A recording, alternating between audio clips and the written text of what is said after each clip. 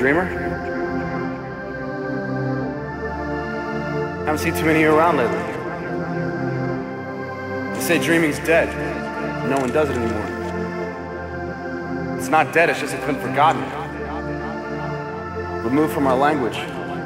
Nobody teaches it, so no one knows it exists.